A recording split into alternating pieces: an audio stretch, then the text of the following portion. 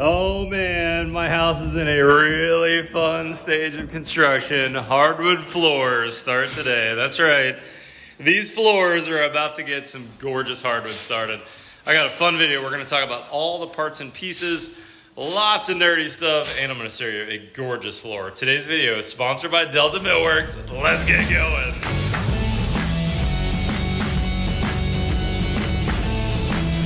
All right, so we're starting upstairs on the second floor of my house. We're using a really cool product, but you know what? Hardwood floor is really important to get the prep right.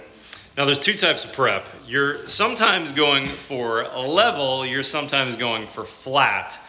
In my case, I'm not super worried about being level. This is new construction. Uh, if I'm a hair off of level, no big deal. But what I do want is a flat floor. And so Christnick Hardwood Floors, my local contractor that's installing these Delta Millworks floors, which by the way are available nationwide, has done an amazing job of prep. So let's start in my daughter's bedroom and I'll show you what they've done over here. So first off, uh, I did not cover my Advantech prior to um, sheetrock upstairs, which meant that I had a fair amount of prep that needed to be done up here. Now they used a buffer with a very uh, thick, heavy grit sanding pad. I think it was a 30 grit. Check this out, y'all. This is a 26 grit pad that the Christnick guys put in their buffer, Wilson and his boys. Uh, they did a, a, a quick buff of my floor. I did not cover these floors ahead of time. So they buffed them all down with this 26 grit. Look how nice that looks. And that's basically what you're left with right here, which is uh, you're gonna see that they got uh, some of the top grain off, but there's still a little bit of sheetrock dust down into the corners. They also did a really good job of double checking there weren't any high nails because they found a couple places where my seams needed just a little bit of sanding. That's not from swell necessarily, because um, you're only gonna notice like two or three spots like that. But we did use a um, hand planer, pardon me, an electric planer in a few spots to do that. And we ran a giant level on the floor to make sure that it was uh, as flat as possible. Now I did have a little bit uh, of, a, of a kind of a de depression in here, so we ran some floor leveler uh, to fill that, and this is dried super fast, so same day install. I think that's the only spot that we needed to. We're walking down the hallway now uh, to my boys' bedroom. Boys' bedroom, we did a little bit of prep as well. This room turned out great, so we didn't have any problems here. So hardwoods are prepped. Let's get into it, and we'll uh, we'll pick up the video as we get started. Wilson and his crew from Christnick doing a great job over here. This is my first run of boards. Look how pretty those are. Love it, Wilson. So we're using uh, glue on this, and they've nailed this starter strip. This is the long hallway that goes down um, uh, basically a continuous board from the top of the stairs. They've run a chalk line to run that glue so they don't go too far and get it everywhere. And then watch Wilson beat this thing in place. He's done this before. He's got a nice clean rubber mount. I saw those guys cleaning off their mounts at the beginning of the day, make sure they're nice and clean. Here's Emma running the next run right here. They're staggering the seams. Make sure those, those seams are nice and staggered.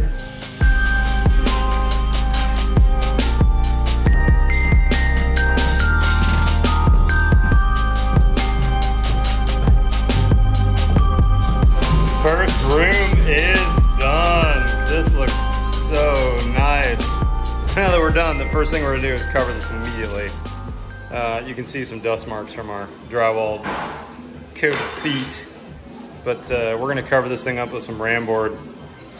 And you're noticing that uh, we didn't quite run it tight to the floor. This is a little tight here in this direction, but in this width direction, we've run it um, with at least a half inch or so down the wall to leave some expansion and contraction room. That's best practice even though this is an incredibly stable floor, we want to make sure that we've got some, some room for expansion and contraction. So, ready for some ram board, looking good.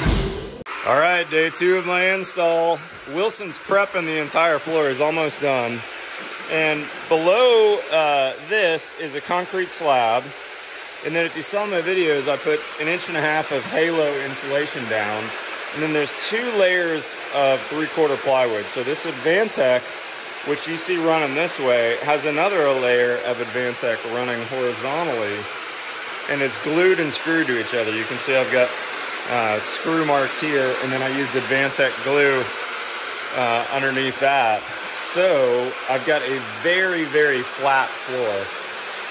Wilson's running a uh, 30, around a 30 grit sandpaper on here just to make sure that everything is nice and uh, nice and clean basically.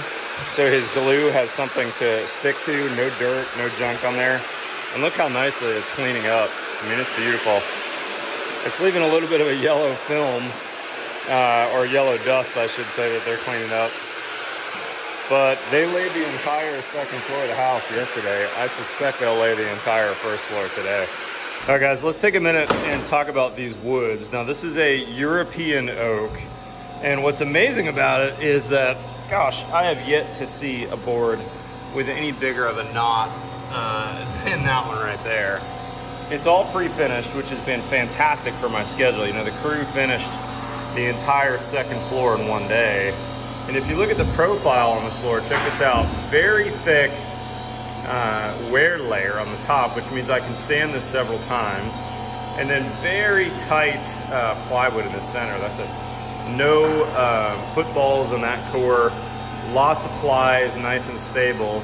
And then if you flip this floor over, which you can see at the top uh, of these bags, it's the same wood on the top, uh, or pardon me, on the bottom as the top, which is gonna lead to ultimate stability on this floor. Very, very impressive product. They're gonna start at the front door and work their way back.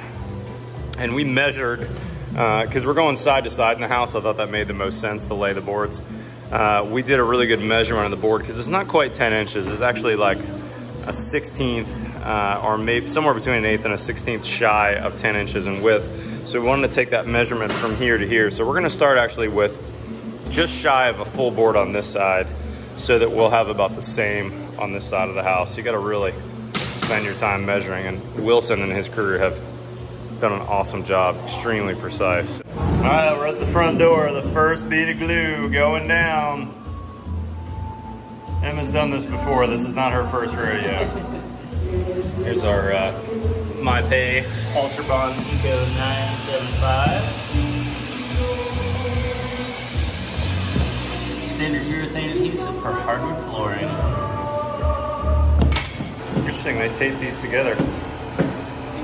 I'm not quite sure why I need to ask Wilson about that.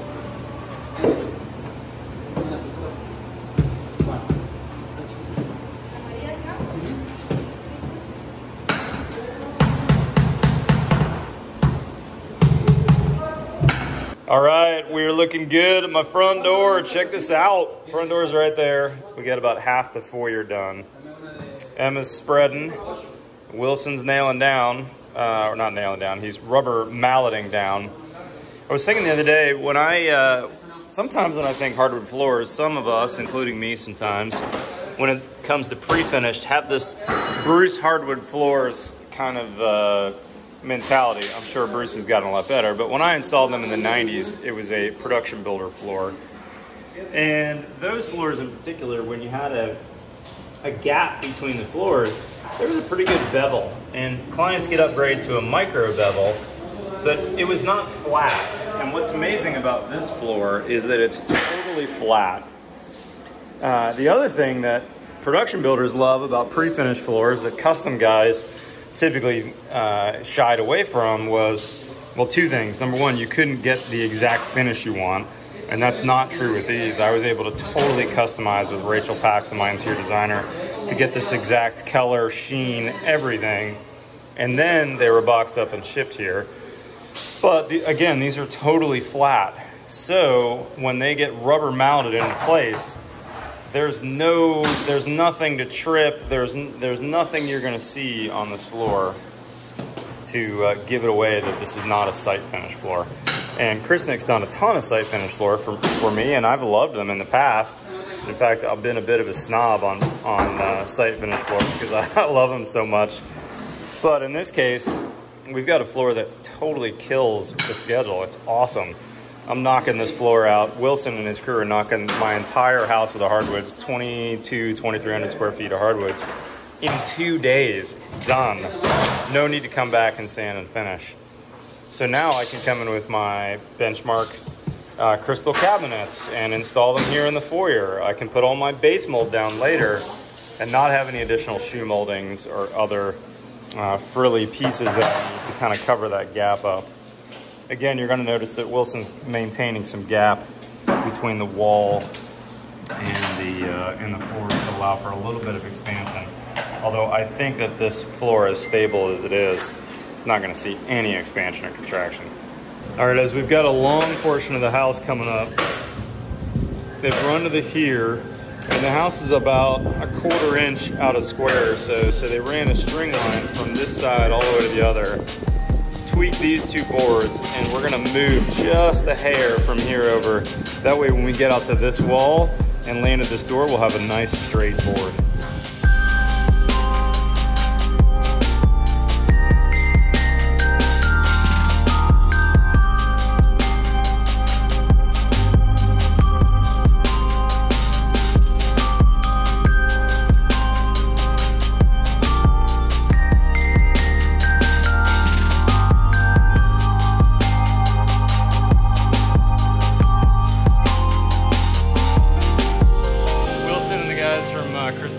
Just finishing up. These guys are tired. Woo, look how good that floor looks.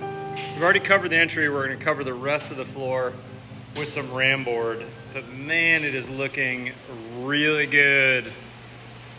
Um, I think you guys caught what I'm doing next on trim, but just to verify, uh, I've got this shiplap going down that's gonna end right at the floor there. They just have a little bit more to finish.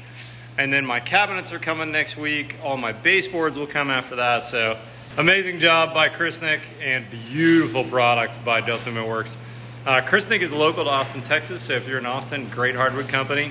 Delta Millworks, though, they'll sell this to you anywhere in the U.S. Great company based here in Austin, Texas, but they ship uh, nationwide, uh, really all of North America. Amazing people. So big thanks to those guys for sponsoring today's video. If you're not currently a subscriber, guys, hit that subscribe button. We've got new content here on the Build Show every Tuesday and every Friday. By the way, sign up in the description for my Friday newsletter because we actually are publishing six new videos a week over on BuildShowNetwork.com. Follow me on Twitter or Instagram. Otherwise, we'll see you next time on the Build Show.